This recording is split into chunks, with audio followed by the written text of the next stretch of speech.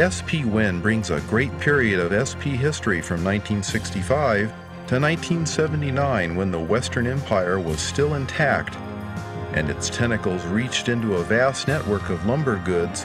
that flowed out of the Pacific Northwest and Northern California into waiting markets in the Southwest and the East.